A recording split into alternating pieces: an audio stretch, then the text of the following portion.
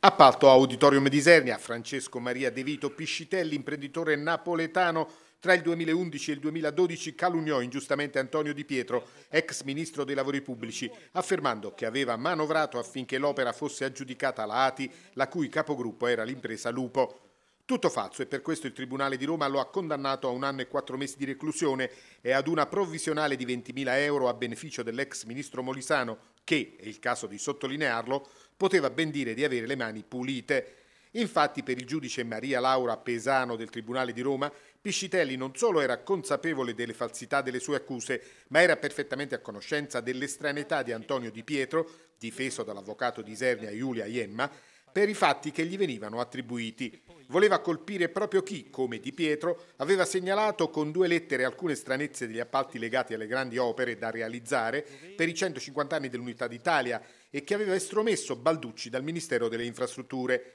Con riguardo alla gara da 50 milioni per l'auditorium di Isernia, Piscitelli sostenne, raccontandolo anche al giudice, di essere stato contattato da un funzionario del Dipartimento Grandi Opere e stretto collaboratore di Balducci subito dopo l'apertura delle buste da parte della commissione tecnica e di aver ricevuto da lui la certezza di essersi aggiudicato l'appalto ma subito dopo lo stesso Balducci gli avrebbe riferito, informato da Guido Bertolaso, che Antonio Di Pietro aveva manovrato affinché l'opera fosse aggiudicata alla ATI di cui era capogruppo l'impresa Lupo. Ed è questo il motivo per il quale Antonio Di Pietro ha denunciato per calunnia De Fito Piscitelli, dopo aver letto l'intervista con le accuse pubblicata su Repubblica il 20 ottobre 2012. Il 25 maggio il processo a Roma. Ieri sono state rese note le motivazioni della condanna di Piscitelli per calunnia.